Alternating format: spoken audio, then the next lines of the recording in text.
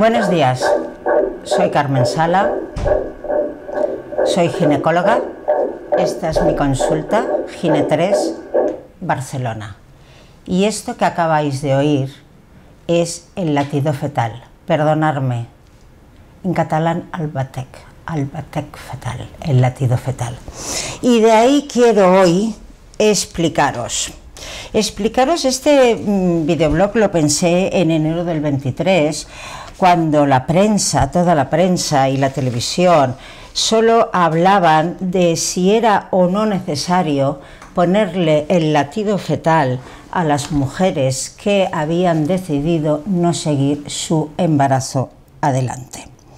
Por supuesto, en la televisión lo único que vi fue presidentes, vicepresidentes, ministras, subministras, en fin, todo personal político, pero verdaderamente no había ningún ginecólogo hablar. Aparte de mm, hablar si ponían o no ponían el latido fetal, hablaban de hacer una eco 4D. Una eco 4D, si una eco 4D se hace a los 6-7 meses, es completamente artística y emocional, no tiene nada que ver para un diagnóstico de embarazo. Por supuesto, ayuda psicológica, evidentemente. Un psicólogo es importante. Y hoy, aparte de toda la televisión, los políticos, los ministros, los viceministros, tal, dejadme hablar como ginecólogo. Como ginecólogo, la ecografía ginecológica a nosotros nos hace falta para dos cosas muy importantes cuando viene la mujer embarazada en antes de las nueve semanas, seis, siete, cinco semanas, y lo necesitamos para dos cosas importantes, dos. Una, para datar, nosotros llamamos datar, es ponerle fecha, porque si tú le preguntas a la mujer, oye, ¿qué día has tenido la última regla? Ah, pues no sé, espérate, lo miro en el móvil. Uy, ahora no me sale, no lo encuentro, no sé si fue el 6 de febrero o el 9 de marzo. Con lo cual, mira, vamos a hacer la ecografía y con la ecografía y con las medidas sabremos exactamente de cuántas semanas estás. Y segundo, ver la viabilidad. No os penséis que ver un, embarazo de seis semanas con un embrión de aproximadamente 5 milímetros podemos saber si está vivo o no está vivo. O sea, necesitamos poner el latido fetal para cuando tenemos dudas de la viabilidad de ese feto.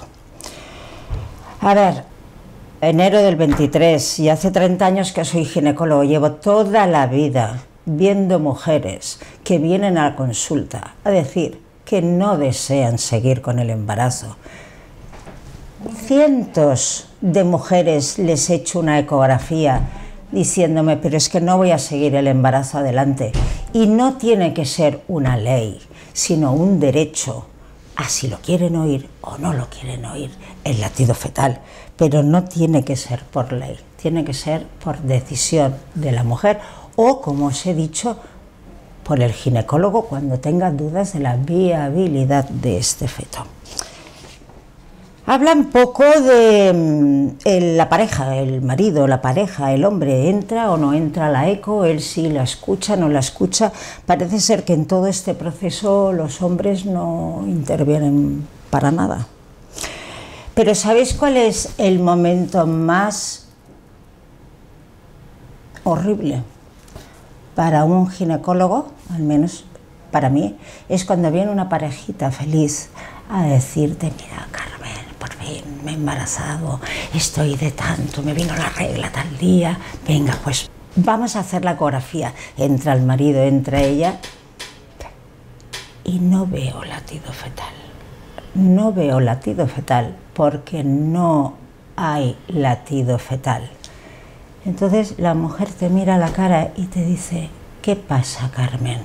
¿Qué pasa? Pues pasa que no hay latido fetal. Situación difícil para un ginecólogo. Gracias.